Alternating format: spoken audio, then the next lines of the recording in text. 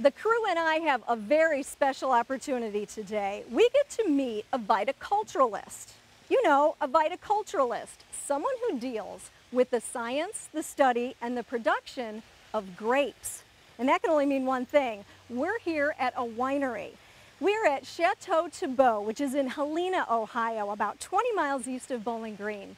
And the owners, Bob and Mary Tebeau, well, they've been viticulturalists now for several years. Now, I am excited about this opportunity to learn about the science and the art of winemaking. And if we're really lucky, we might even get to try a taste.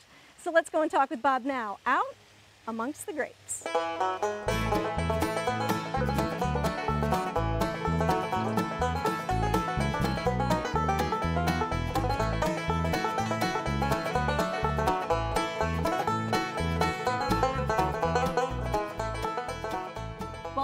Thank you so much for having me and the crew here today to walk amongst your vineyard. Well, my wife and I were very happy to have you here today, and, and we were glad to hear you were coming to interview us about our vineyard and our winery. We're, we're real happy about it. What a unique opportunity, and I feel very privileged. So first of all, I want to know, when did you first realize that you wanted to become a viticulturalist?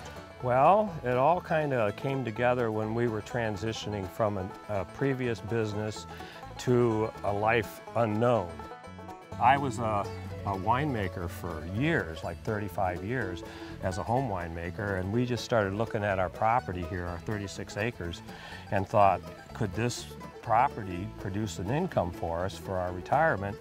And we started knocking around ideas about what we wanted to do, and the vineyard and the winery seemed like something that we would like to do because we were very interested in wine and the wine lifestyle and everything. So it, it came down to putting in a vineyard.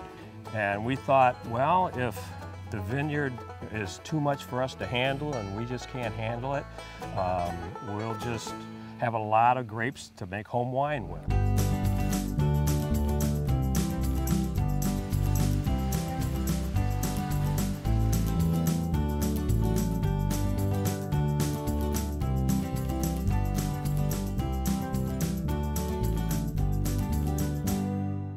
Bit about uh, how you grow. There's a trellising process that takes place. Right. Tell us why it's important to have these up high off the ground. Well, this is called a high cordon system here. We have our cordon wire, which this part of the vine is the cordon, and all your grape production is going to occur there on the cordon. And uh, the grapes themselves tell you what trellis system they want to be on, because Frontenac tends to grow up and then it falls over. Okay, so it likes to be on a high cordon where it, it just umbrellas over and we, we try to comb the grapes down, the leaves to keep them from tangling all together and mm-hmm. everything. Mm -hmm. And then our second system is over on the other vines, which is a vertical shoot positioning system we call VSP. And the cordon wire is here at about 32 inches up.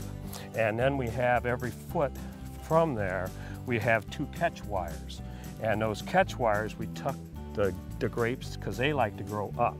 And so we tuck them into that catch wires and it makes a big tall curtain of leaves to collect sunlight and, and produce nice grapes.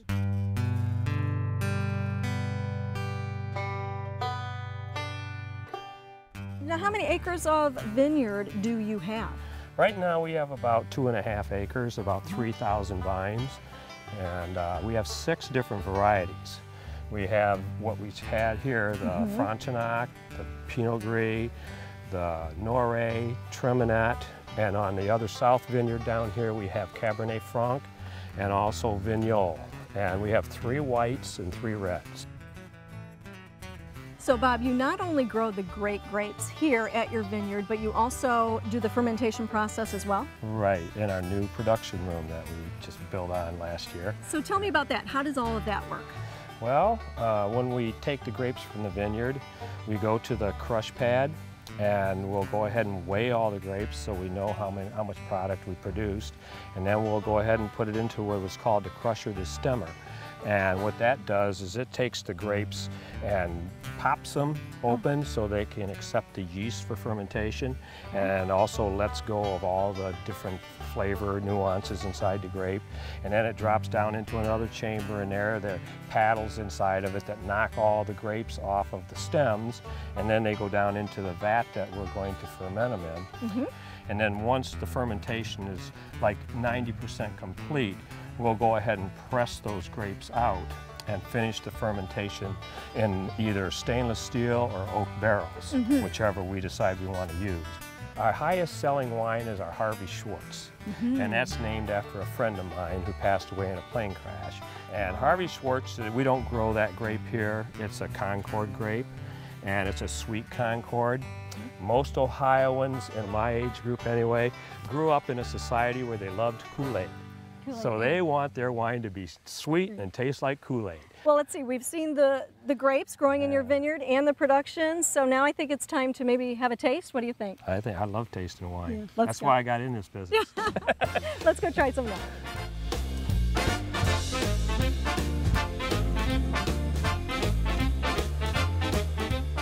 This is our Cabernet Franc, and this is uh, has a little bit of uh, 2013 Noiret and 2013 Cabernet Franc from our vineyard, and a 2009 vintage from another vineyard, not ours. So it is a blend. It's a blend, and that is our signature dry red.